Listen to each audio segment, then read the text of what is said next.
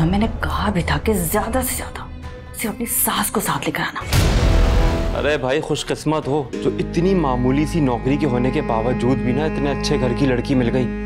किसी ने सुन लिया तो क्या सोचेगा? ये तो बेटी दे के भी इज़्ज़त करना नहीं जानते। कुछ पैसे हैं ये। रख लो नहीं भाई मुझे नहीं चाहिए। अरे रखो बेटा रखो ना। इन पैसों के बारे में भाभी को मत बताना।